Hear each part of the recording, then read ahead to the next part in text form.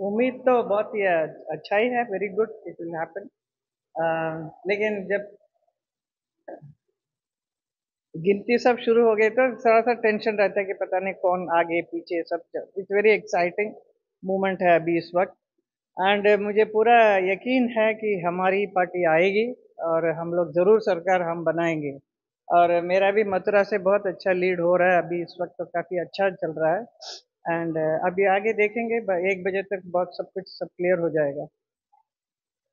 Definitely Modi सरकार तो बनेगी ही बनेगी। बहुत ज़रूरी भी है इस वक्त देश के लिए आगे वा, आने वाली पीढ़ी के लिए। इट्स वेरी इम्पोर्टेंट और मे, मेरा भी यहाँ पर रहना बहुत ज़रूरी है मेरे लिए क्योंकि मैं बहुत कुछ करना चाह रही हूँ।